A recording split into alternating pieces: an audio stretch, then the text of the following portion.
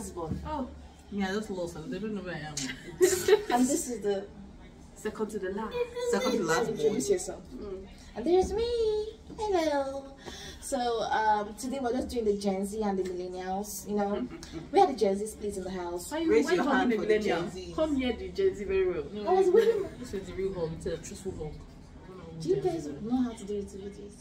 Well, and YouTube videos are I not said being we had the Gen normal. Z in the house. Supposed to wave. Gen Z. We had the Gen That's Z. professional now. So we had the Gen Z's in the house. Oh,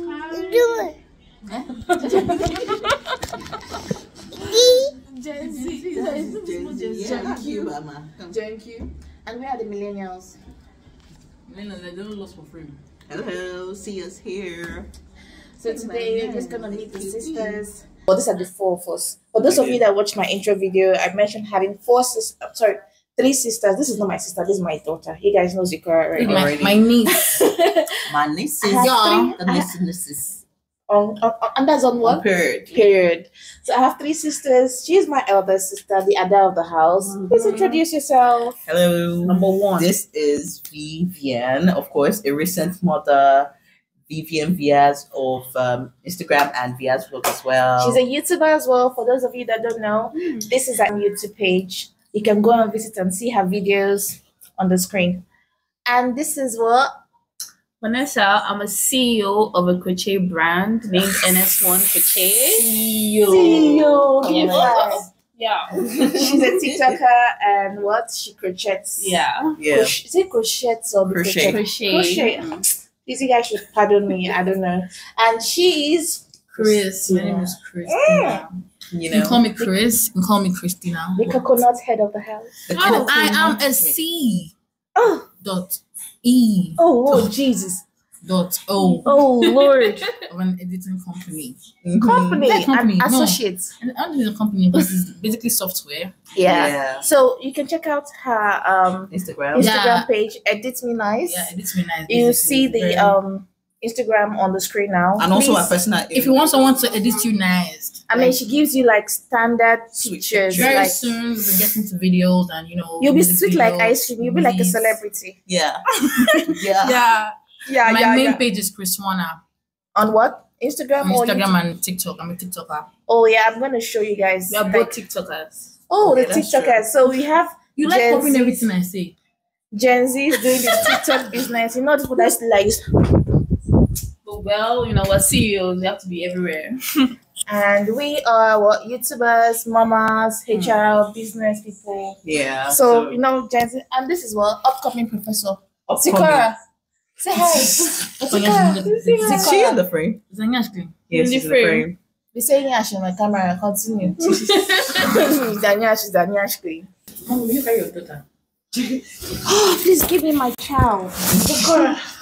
So, guys, what's your take on relationships? Uh, For me, um, I, as you guys know, before Like I had Zikora, I was thinking I was going to get married like for 24, or it didn't work as planned. So you guys can see, I'm not 24, but I'm not 30. But yeah, I'm married and I have a daughter. My other fellow um, millennial. yeah, that's that's why I'm looking behind. My son just woke up. So I'm mother. I'm married. Um, my relationship has been with someone I I, wish you I could was show his face as he woke up. Oh, Sorry, break advert. 30 second break. yes. So we have the millennials you can see with our hands. Mm. We have gotten the new Gen Q. and here you have the Gen Zs. What's your take on relationships? You know Oh, me? Yeah. Well, I believe relationship is a foul moment that is, you know, meant to be. What a what? What? What- what? How can you know that with everything you say? You have two married sisters. So anything you had before, not What no? What's your actual take on uh, marriage and relationship? Relationship that leads to marriage or just relationships? I feel like if we are going to be in a relationship, we should think of marriage, right? Instead of just a relationship. Mm. But personally, me, I don't believe like I don't think right now I'm thinking of marriage. So, at what age do you want to think of marriage? Because I was thinking of marriage at twenty four. Okay, uh, right now I'm not thinking of marriage at all. At So all. not So when even you get married, thirty five. Probably, your, will possible, finish, oh. 40. Your ex will finish. If you guys know that ex will finish. Yeah, at 45. We still have five years to Yeah, work on that. five. Not in our 40. house. Not in our house in Jesus' name. Amen. Amen.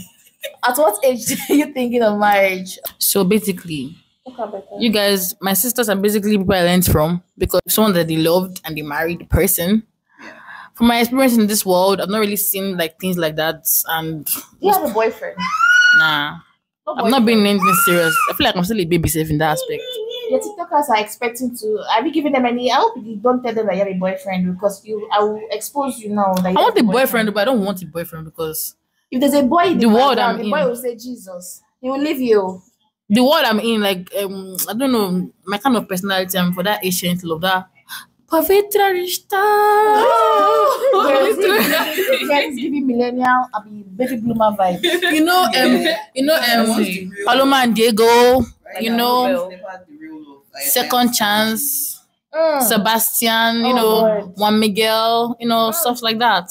He watches a lot of soap opera from what I Oh, can before you say. even go for that, let me just let me just buttress that fact. Just to add to what she said, the kind of love that we have we have these days, I think people are are losing The the, fact. They lose. Yeah, it's now more like a game. Mm. if So somebody hurts them, they want to hurt to somebody. hurt- yeah, And there's no real like yourself. Yeah. authentication of the you know telling this person this is how you really feel. So in, in reality, real love is scarce. it's very scarce. Yeah. And they, they do a lot of you get my own, I give it back. So money in exchange. Yeah. of What can I get What can I get back? relation? Exactly. Someone can be smiling at you and like the other person is your worst enemy. People are now reading know- books on manipulation, how to Some manipulate always people in a use love- relationship love instead of thinking of how to selfishness. be with someone in a relationship. Exactly. Some people use love to just come and use you. It's crazy. you. I like to grow to and just to climb the ladder. Someone who said told me that it was ladder, like some men are ladders. Ladder, ladder, ladder, ladder. is a ladder, follow, follow, follow the ladder, oh, follow the ladder, oh, follow the ladder. Let's guys, let's be serious. So basically, the take on um, relationship for our Gen Zs is that they are scared of relationship let me because wait, let me finish. I always forget them when you think so basically, the to- um, their take on relationship is that these days it's so hard to find true love. Yeah. There's a lot of fake love out there, and most of the people that are in getting to relationship are looking for what to gain, either to climb up the social scale, to build their following because they I mean they are established TikTokers, or to just use the person and you know go away. So real love is scarce. So how do we find real love? What? How do we find real love then? So like from my own point of view too, like I was saying, like I've like experienced from the masculine point and feminine point. You Check mm. my Instagram, Chriswana. Like I switch, like I'm growing both my masculine and feminine personality together. switches. So like I've received and I've I've give I've given. So I always see like the same people in just different faces. Mm, Like, and- same personality. and it depends on the age too and the and the mindset and people with their friends that like influence their Yeah. their decision. Some people can be good, but they'll have like bad friends that will make them think that their decision is like bad and they will not want to do what they think is good. peer pressure. And that's how they lose themselves. But man, love is now crazy. I wish that I can like find real love. So are you saying peer pressure is worse now? Yeah. It, it actually is. It actually is. Because you're not like them, they look at you as strange. Most of the people that smoke now it's peer pressure now. Ah. When you go to parties, if you don't smoke, they'll think that, you would think that you're not normal because they're the only one that's not smoking Oh wow. Yeah. among them. Oh wow. No Yeah. one's gonna pressure me, guys. if if you're here, do not let be, do not be pressured. Okay. friendless now. You know, you need to have some friends. I'll work on that. But please do not let peer, peer pressure be a problem to you. If you're going out there, do you. Don't do for others. I can never be pressured for once. Have I ever been pre- And I learned Have from you- them. Have you ever been pressured to do something? To get a Well, to boyfriend, to marry, to to have friends, I think um, it was like when I was quite younger that I think it kind of like got to a point, but then I think as a first girl, you then know that you have to, you know, be this person towards your older sisters, and yeah. you know they have to look up to you, You and you need the to role, take right? up that role. So you know that if people can, you know, manipulate you, that's how easy they can manipulate your sisters. So when you look at me, there's nothing that can influence my decision except me. And people Yeah. still think I'm stubborn, but, But you're stubborn. Because She's actually, very stubborn. it's Could true. head whatever. It's true. That's true because many girls don't have elder siblings that can take care of them. They're out there doing things that I'm meant to do. But I know for a fact the reason why I have high standards and I'm on my own, I manage myself because I know for a fact that if I need anything, I can ask my sisters If I give you, and they will surely know. yes, now because I Don't know they used to tell now? So wanna know. If you need anything, because Why? what this says, eh? if we need anything, that's our sisters. Yeah. Thank you. Oh yeah, You cannot steal our that's sister. why I can't be in peer pressure. Yeah. Okay, so yes, I think having someone to look up to and not being um the first child. What? Not being pressured to do what you don't want. Don't be pressured to do what you don't want to do. So apparently, our Gen Z sisters are, are, are lucky to have us because, in as much as we had just ourselves growing up, yeah. because it was a hard time growing The up. internet too wasn't that. The internet was not crazy. Social, um, social media pre- um, pressure was not that crazy. Yeah. Mama, you will calm down. No. Do you want to part of this video? So do not be pressured by social media, by things you see online, Yeah. um, by people. It's just a facade, right? It's not real life. They just put that uh, facade, facade. Please, you guys should correct me. Facade, facade. Those that that agree for facade, please thumbs up. Trust me. I'll go and write lose. IELTS, and if I pass, if I pass your score, there'll be a problem. Whatever. Anyway, so not lose yourself at the end of the day. do not lose yourself. Some things that you might not even know that should happen to you and just happen. Mm. It's, it's how you think, it's how you handle it at that point that matters. Yeah. Not Yeah, really- true. So, what's your worst experience? What um, situation have you found yourself in that was like, and literally, what? How did you come out of it? Wow. Honestly, honestly, I can't even. He has pooped. I don't. She said, "Now, did you poop?" oh?" So I think I would say my worst experience, and I've told um, everyone here in this table. At a point in my life, um, I think it was when we were still trying to figure out ourselves. And then I went to go and visit um, my cousin. And then she says, you know, let's go to Abuja, you know, you're on break, blah, blah, blah, blah. And then, of course, I've not really gone to Abuja before. I was eager to go and I went with her because my cousin. So you believe that this person has got your back and only for me to get there and then i'm hearing from one guy i want to marry you. I'm going to take care of you. Take you to dubai. We're going to get married there. The nation wedding and all that. And i was like okay interesting. And it was interesting for me because then i was like oh that would be that would be nice to actually have this kind of um you know vibe from someone. But then when i thought back about it and i was like how can i marry someone that's older than me? That's i just put a stop to it. We didn't talk anymore. We didn't have a conversation I think that was the only time I nearly got influenced. I think I would have gotten married to someone that I hated just because of someone else. Mm. That's nice. So that was like her worst experience. She was almost pressured to get married. I think I've also had the same um feeling where, but I wasn't. I didn't. I didn't move with the pressure. This guy was like, "I want to get married to you. I want to come back from Dubai and get married to you." I didn't really love the guy, but um, I felt like people are getting married. Why don't I get married? I, I had my friends that had like three kids, two kids, four kids, and I was just there. I mean, working with no, no marriage and everything. But I didn't feel pressure because one thing I know is that I'm not going to get enter into a marriage that was loveless. I wasn't going to get into that kind of marriage. So you have to marry your friend. yes, I needed a marriage of love. I needed a marriage of laughter, of humor, of games and jokes and all that. Yeah. So that aside, what's your worst experience? Are you still thinking about it? I'm thinking. I, I- I don't keep worst experience. I, that, I, I, like that, I understand. We don't remember them when it happens. We, like we learn, we like we learn to be like understand why it happened, hmm. I we just like see it as Let it go. and let it go. Exactly. I don't keep it as oh my worst experience. I've already learned from it. Okay. For me, do I have a worst experience? I think it's our time to check out from this hotel. Let me go and tell them that we are almost ready. They are calling us. Wait. So, what was it like growing up in the house? I mean, we had a, a soldier of a father. We had a mom. Our mom is Yoruba. so And our, our mom is Yoruba. For those that don't know, yeah. you can watch my intro video on getting to know me. You can see about my family. And my dad is Igbo. So uh, it was a tribal home, but we didn't get the feeling that it was a tribal home because we were very, we're very English. Yeah. Our dad studied abroad, My name came is back. Christina. Christiana. Everyone literally has like a very good. I mean, name. yeah, Valerie, Vivian. Vanessa. Christina, not Oh, Christiana. So yes, so how was it like growing up in the house? Did you guys used to have friends come over? Did you attend parties? Did you have games? Maybe my dad travels I tell my sister that I'm finished coming over. So Don't let them, daddy know. daddy come back. No So for we, I think for us, we had a disciplinarian as a father. Like um, very strict. he's very strict, so he he He was an hits at the. ex-military man. Yeah he hits at the slightest provocation. So it wasn't it wasn't easy at all you know telling him any it's not like a white household. yourself? definitely not like a white household. And yeah it was difficult a bit. Well i think that's what majority of nigerian fathers do now. And i think that's what we're trying to do differently in our parenting Yeah. style. You know get kids to talk and all that but we didn't have that growing up. But we turned out all right so yeah, we I'd say- definitely, we definitely turned out all right.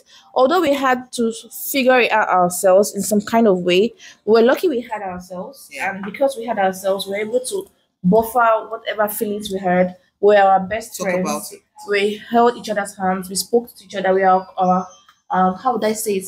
We are our man Friday, which is our We tell companion. supporter. So we, we, we grew that strength to help out our younger sisters because it wasn't easy, trust me. how is it for only children Only children, My ah, God, yeah. my God, I don't know.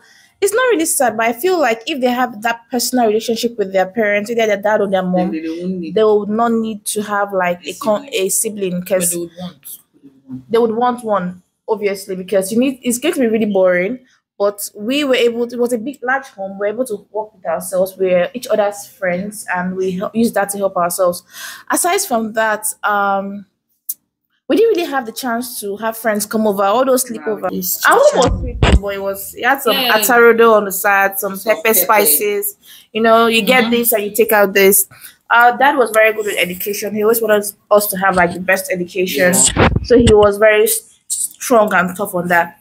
But in the social life, we literally didn't have social life. We had to, yeah, we didn't have social life. Our social life was all was each other. We, uh, yeah, we we're had our social life as each other. So Yeah. all those ones where you have friends coming to sleep over Yeah, or parties in your home. That that in which house? My daddy's house. You do dare not. Ikira is putting her hand in your shirt. Yeah, yeah, yeah. She wants to, you know, she wants to suck breasts, but it's not gonna work. You see this video in the next thing is and laugh. so basically that's about it for um growing up. Growing up was fun.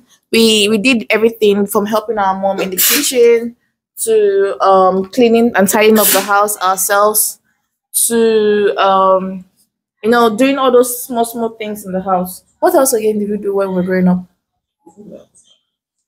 Church.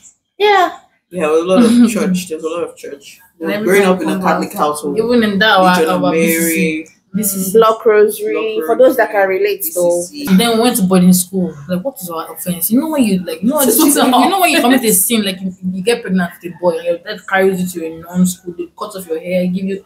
In oh yeah state, you went to that you non bow school skin, do- do- Like, not Gen just with any boyfriend though. gen z of they nowhere. need to hold them There's tight two of you. Yes, The two of us I ran away. I was in SS2 then. Suddenly, I'm being carried from from school to Anambra State. Ah, What's my offense? They cut my ah, give me gown, and, I was already wearing skirt her hair before. and I'm tied as a senior that I am, and I was back to my pinafore gown. Oh i'm so sorry i'm so sorry but then it was a good experience because I learned from it. I can speak Igbo now, like more than all of them. They can't speak Igbo, you can't speak Igbo more than me No, she cannot. really ah. yeah, she stayed. So I'm not two years plus. left. On our soup. Ọla Subogo. Come on. Ah, ah. And in You don't school they only speak Igbo. They can't. bụ afa gị? English is rare. Afambu Christina Chibuogu mana. Oh my god. Wait, chere go do Chineke, gịnị bụ afa gị? Afọ m bụ one and few Vanessa Chineye. One of your. Af- Gịnị bụ afa gị? My name is. Professor. Sue. Speak Igbo here, this screen. My name is. thing will crack. Whatever. Hold it there. My name is Chiazo Vivian. One of your Ebili. The Ebili that She's like she's letting you guys know. She's letting you know that there's a belly there. Ebili. Any small thing Why the because belly they are say married. cheers or The Vivian? main surname. I just put the. I, I didn't want to take out one of you, so I put it, but well, Ebili. okay, okay, okay. JJ. So let's introduce is- our babies. This is. Okay, go ahead. She's with the talking. Okay, this is Jidena Jaden. His um grandpa uh, named him Samuel too, so we'll just add that. Then his surname Samuel. is Ebele. Ebele. Yeah. And this is uh Zikora Nachimamaka. Very Shun, yeah. Um, Princess Zikora, Princess Zikora. Kyra, Anastasia, Hmm. Period. Look at yourself. See, see, see. There's not one. She will change it for you. What are you guys' goals and aspirations? So basically, for me, um, as a millennial, I'm just basically looking at having my family in the best way possible, traveling the world, places whenever I can, and you know, having a good source of income because I'm quite Yeah. settled. I have a family now, and I just want to be relaxed till I go old and gray. You know, Yeah. tour the world if, as much as I can, and you know, build up my YouTube page so we show you guys lots of videos. And remember to subscribe. Okay, for me, I guess uh, it's very, very straightforward. In the next five years, I'm currently in HR, so I intend to be, um, you know, in a position where is a head or um, a director position next five years. Um, still, my YouTube, growing that, you know, having a kid, I've kind of put that on pause, so restart that again, and then, you know, be an awesome wife. Long the long road is not being this country anymore because this country. Okay, so my goal right now is to increase my NS1 brand, my crochet brand. I see it like in few months, years, it's going to have its own shop, hopefully. Yes. Walk in shop, no more online. Yeah, Still online too, like both. Both. both online and walking, Walk-in, yeah. just like an ex- expand Yeah. stuff. Build, Yeah. Business rather. Oh, I see. So for me, like every day I keep learning more on my editing. Like I said, I want to start like editing videos very soon, music videos, movies, and everything because everything basically is on- like it's it's now online and it's now exactly that's the word digital. So like to make things better and more like to put a smile on your face so that you see what you're paying for. And also like my schooling to music, editing, still gonna add more and all the every other thing. Oh, yeah, I did add love, but It's gonna come. it's gonna come with that. love is gonna come, right? Yeah. Gonna find us, and that's about it. I'm gonna So- cry my own baby too. Oh, she wanna I'm gonna. I'm going to do some um rich auntie vibes, you know. Yeah. that's that's the goal. I have to go. I even want to wear uh, what do you call it? A shapey. I have a actually. Oh, okay. Like sister, have you seen it before in weddings? Ah, they just take over the wedding. They're always behind the bride, walking up and down, walking seriously. with Slippers. Are you serious? Yeah. All right, guys. So that comes to the end of our video. I hope you guys loved it, and if you did, please give it a like, thumbs, and remember up. to subscribe. See you guys in the next one. Bye. Bye. Mother mother your mother. Mother, their mother. I'm